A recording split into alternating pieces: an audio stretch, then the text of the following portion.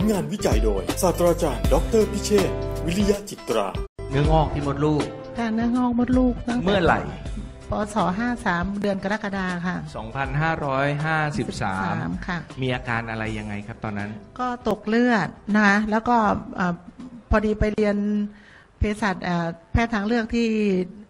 วัดมหาธาตุเรียนนวด ไม่ไม่ค่ะเรียนเภสัชเรียนพดุงคารเรียนของเอ่อเวทอะค่ะอ๋อสีเวทอ๋ออ่าฮะอ่าทีนี้ ไม่ไหวแล้ว ตอนนั่งอยู่ก็โบกแท็กซี่ ให้กลับ พอกลับกลับมาถึงบ้านเนี่ยคือ เลือดในเต็มแท็กซี่เลย แล้วก็บอกกับแท็กซี่ บอกว่าพี่หนูขอโทษนะพี่เอาเงินหนูเนี่ย ไปล้างรถไปไป แล้วก็แม่อะไรหนูก็อยู่ที่บ้าน ก็ทีนี้ก็ส่งโรงพยาบาล พอส่งไปแล้วก็เขาบอกว่า เนื้องอกอะ 4.9 4.9 เซนนะคะแล้วตอนนั้นยังไงฮะ ก็คือเอ่อเจ็บแล้วก็ทีนี้หมอก็ให้ยาทั้งฉีด แล้วก็ต้องให้ยาที่ห้ามไม่ให้เป็นเมน พอไม่ให้เราเป็นเป็นประจำเดือนนะนะคะครับ ทานไปทานไปก็บวมมั่งแหละ เหนื่อยมั่งแหละ อ้วน ก็ทานมาหนึ่งปี น้ำหนักขึ้นยี่สิบโลโอ้จากแปดสิบสามขึ้นไปร้อยสามอ่าฮะจะเพลียจะอยากนอน ใครไปไหนก็ดูเขาอย่างเดียวทำไมเราไปไม่ได้ทำไมเราเหนื่อยพ อเห็นคนมากๆเนี่ยกลัวเขาจะแย่งลมหายใจ จะตายเอาอีกแล้วเพราะเอ่อ คนเยอะๆกลัวเขาแย่งใช่ลมค่ะหายใจพอเห็นคนปุ๊บอ้าวนี่วันนี้เราจะตายอีกแล้วเหรอเนี่ย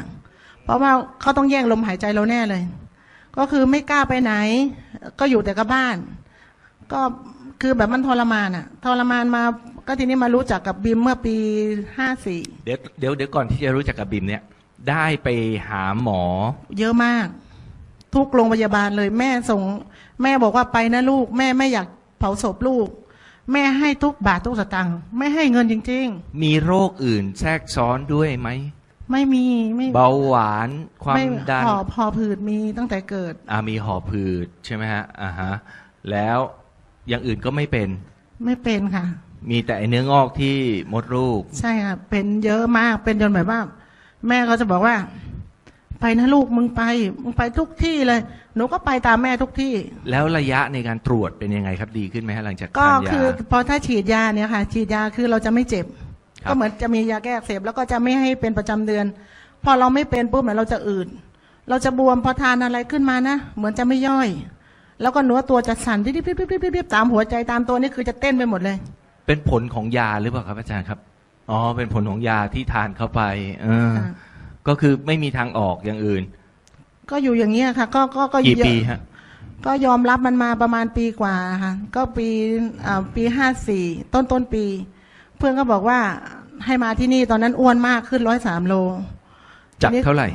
ร้อยสามอะไม่ต่อจับจากแปดสิบสามแปดสิบสามเป็นร้อยสามใช่ค่ะ แล้วก็ทานบิมแค่สองถึงสี่เม็ดทานทานบ้างไม่ทานบ้างนะก็คือว่าอยากจะให้มันไม่ไม่เหนื่อย คืออยากไม่ให้ไม่อยากไม่อยากให้มันหอบ อืมอ่าฮะ อ่า เสร็จแล้ว แล้วพอมาปีห้าสิบหกเดือนเมษาอ่าวันที่สี่วันที่วันเกิดพอดีเพื่อนสี่เมษาปีที่แล้ว ใช่ค่ะ เพื่อนบอกว่าเลี้ยงวันเกิดไหม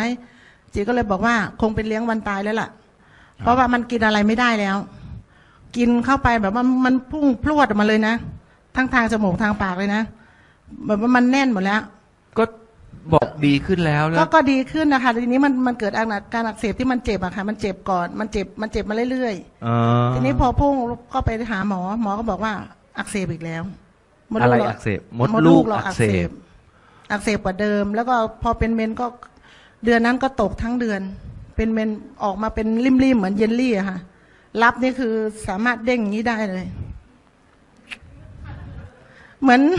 ไม่กล้ากินเยลลี่เลย โอ้ยขนลุกเลยฮะ อาจารย์ครับทำไมทำไม ผมไม่ได้ถามอาจารย์ว่าว่ามดลูกอะไรมันเป็นยังไงผมผมจะถามว่าอาการอย่างนี้ทำไมหายไปแล้วดีขึ้นละ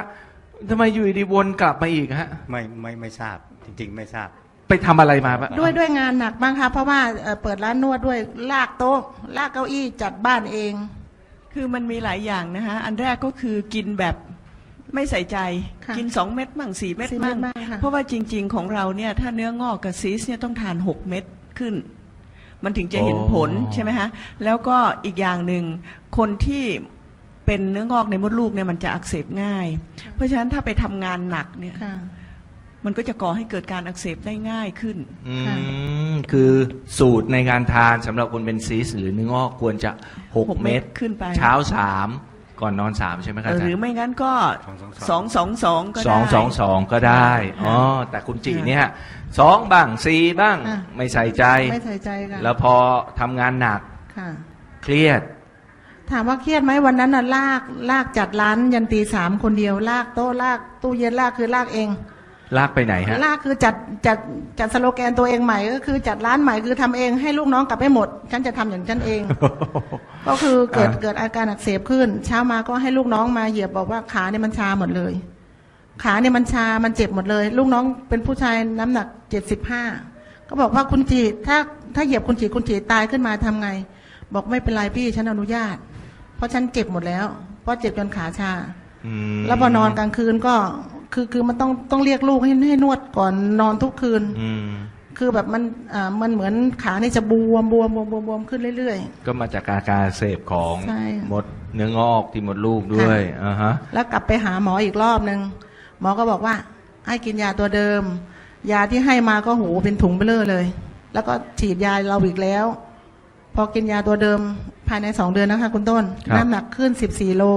ตัวดำเมี่ยมเลย เกรียมเลย ถามศาสตราจารย์พิเชษฐ์วันนั้นมาแบบว่านึกในใจ ไหนๆก็กินยาหมอไหนๆก็จะตายแล้วนึกในใจเงี้ยมันเจ็บจะตายอยู่แล้วเนี่ยเพราะมันเจ็บอยู่นั่นแล้วมันเจ็บทุกคืนเจ็บจนนอนไม่หลับคุณต้นอืมอืมก็นั่งอยู่ในห้อง บอกว่าอาจารย์คะหนูไม่ไหวเลยนะหนูกินยามาก็เยอะแล้ว อาจารย์ก็บอกว่า ถ้ากินไม่ได้ ก็กินของเราสิหนูกลับไปตั้งแต่วันนั้นนะหนูซื้อไปเลยเก้าสิบแคปซูลนึกในใจนะซื้อไปเลยนะสิบขวด ไม่ให้คนอื่นทานหรอกฉันจะทานเอง อืมอืมหนูนึกในใจอย่างเงี้ยนะหนูทานวันละเก้าเม็ดถึงสิบเม็ดว่างไม่ได้หนูทานเลย แล้วน้ำมังคุดซองหนึ่งหนูนึกว่า เรากินยามานานต่อนานแล้ว ถ้าตายก็ให้มันตายกับตรงหนึ่งตรงใดยี่ห้อไหนยี่ห้อใดคือให้มันจ่ายตายไปเลยไหนไหนไหนไหนก็ไหนไหนแล้วคือชีวิตนี่มันมันทรมานมามากทรมานกับนอนไม่หลับเป็นคนที่นอสุนดโต่งจริงๆนะคนที่นอนไม่หลับเป็นทรมานนะคะทรมานจริงๆท่านผู้ชมทรมานตรงที่ว่า เมื่อไหร่ฉันจะหลับ เมื่อไหร่ฉันจะหลับ แล้วทานนี้ฮะวันละเก้าเม็ด เก้าถึงสิบเมตรนะคะบางครั้งที่ก็เวลาว่างปุ๊บเดี๋ยวก็ท้องสองว่างเดี๋ยวก็สองหยิบมากิน หยิบมากินแล้วกินกี่วันถึงรู้สึกว่ามีอะไรเกิดอ่าขึ้นรู้กับสึกตัวว่าเองพอเดือนแรกเดือนแรกอ่าพอพอเริ่มเป็นเป็นประจำเดือนรอบรอบรอบรอบแรกนะคะอ่าเป็นริมก็น้อยลง แล้วก็หนูจิก็จะเป็นคนฟ้าเออเอาเอามาลองกับมืออีกว่ามันเย็นมันร้อนไหมมันเป็นยังไงมันเหมือนเดิมไหมมันจะเป็นเยลลี่เหมือนเดิมไหมมันก็ไม่เป็น ก็พอเดือนที่สองเออ เพื่อนก็ทักว่าอ้าวคุณจิอ่าใช้ใช้อะไรทำไม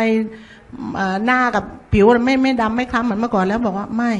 ฉันกินน้ำมังคุดกับบิมเขาบอกคุณจิกินยังไงโอ้ยฉันกินเก้าเม็ดสิบเม็ดฮะกินจนอิ่มเลยเหรอบอกว่าอิ่มก็อิ่มไป ไม่เป็นไร ถ้ามันหายเออก็กินมาสามเดือน พอวันที่สิบสิบสี่มกราที่ผ่านมาไปตรวจโรงพยาบาลนะคะครับตรวจทุกอย่างเลยเลือดไปตรวจตรวจไปแปดหลอด เขาดูดเลือดไปแปดหลอด เช็คทุกอย่างในร่างกายอ่าเขาบอกว่าค่าของมะเร็งอะไรที่เกินนั้นเมื่อก่อนนั้นนะปกติหมดเลย แล้วก็เนื้องอกก็ปกติโอ้โหนึกในใจบอกลูกชายบอกเห็นไหมแม่หายแล้ว ปกตินี่หมายถึงว่าเล็กลงหรือ ปกติเขาบอกว่าปกติสองเซนเหมือนเดิม เพราะว่าร่างกายของเราสองเซนเนี่ยคือคือคนคนมดลูกมดลูกปกติของคนเราเนี่ยคือสองเซนก็คือสองเซนเหมือนอะเดิไรมไอ้เนื้องอกอะก็บอกไม่มีปกติแล้ว เนื้องอกหงายไป จากเราทานมาสามเดือนนะคะสามเดือนแล้วก็ไปตรวจอีกครั้งหนึ่งตอนอืมอ่าเดือนเดือนกรกฎาไปไปนั่นไปก็ยังหาหมอยู่ ใช่ไหมคะยังอยู่สองจุดเก้าอ่ามาตรวจเมื่อเดือนตุลาก็บอกว่าสองจุดเก้าอ๋อเล็กลงมาสองจุดเก้าพอวันที่สิบสี่เมื่อที่ผ่านมาเนี่ยค่ะอ่าสิบสี่มบอกกรามกราอ่าก็ขึ้นขายังเหมือนเดิมอ่าฮะหมอบอกปกติ มือคือไม่มี ก็นายแพทย์บอกว่าปกติเขาบอกว่าปกติอะค่ะผมก็คือได้ยินคำหมอบอกว่าปกติก็คือ ก็เอาละโอเคละเออใช่ก็บอกไม่ถามต่อแล้วนะไม่ถามแล้วฉันปกติแล้วออเขาไม่วัดเป็นเซนแล้วค่ะ คือเขาบอกว่าปกติ ก็ไม่บอกเราแล้วว่าเป็นเซนกี่เซนเอแล้อวทีจนี้ริงๆหมอปกติปกติแล้วก็ไม่ต้องไปถามแล้วจะใช่กี่เซนอาจารย์ครับ กินทีเก้าเม็ดสิบเม็ดมีอันตรายไหมแล้วต้องกินปริมาณเท่านี้ เรามีการตรวจเลือดของคนที่กินแคปซูล4เม็ด9เม็ดนี่นะครับ เป็นระยะยาวแล้วก็ไม่มีปัญหาใด ๆ ทั้งสิ้นอืมนะครับ แม้กระทั่งตรวจดูว่าเม็ดเลือดมีการ deform หมายถึงว่ามีการเปลี่ยนรูปร่างไปไหมอ่าฮะนะฮะอาจารย์วัชระ กสิณฤกษ์นักภูมิคุ้มกันวิทยาอันดับหนึ่งของแผ่นของแผ่นดินนะครับก็ยืนยันว่าไม่มีการไม่มีผลกระทบใดๆกับกับเลือดเลยอืมนะครับ เพราะฉะนั้นความปลอดภัยตรงเนี้ยมันชัดเจนนะครับ แต่ก็อย่าไปกิน 14 เม็ดนะครับนสียไม่จำเป็นตังค์นะฮะไม่แต่ว่ากรณีที่ที่มันมีอาการรุนแรงอย่างเช่น มีเนื้องอกห้าห้าเซนนี่นะก้อนค่อนข้างโตนะครับ ครับ ถ้าหากว่าวันละสองเม็ดไม่ไม่ไม่ไม่เห็นหายหรอกผล นะครับ ไม่ลงหรอก ถ้ากิน 6 เม็ด9เม็ดเนี่ยโอเค โอกาสที่จะหายไปใน6 6เดือน อืมมันจะค่อนข้างจะชัดนะครับ แล้วถ้ากินมากมันก็หายเร็วครับอ่าลดลงเร็วนะครับ ก็ไม่มีไม่มีอะไรก็ไปสร้างเม็ดเลือดขาวเพชฌฆาต ให้มีความสามารถจัดการกับสิ่งแปลกปลอม ก็คือเนื้อก้อนนั้นอะอืมก็คือสิ่งแปลกปลอมนะครับ มันก็ลดลงครับค่อนข้างเร็วครับอ่าฮะ